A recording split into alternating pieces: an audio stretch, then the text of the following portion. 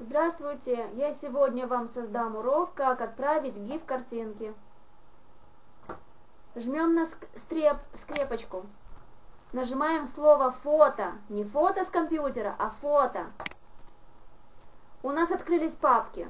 Это папки в Одноклассниках.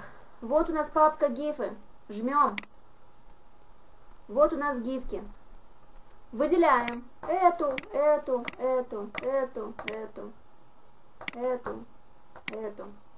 Жмем готово.